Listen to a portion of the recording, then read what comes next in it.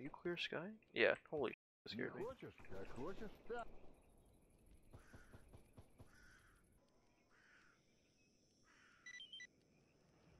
Ты говорил же, что хотел. Hmm. A few moments later. Oh no.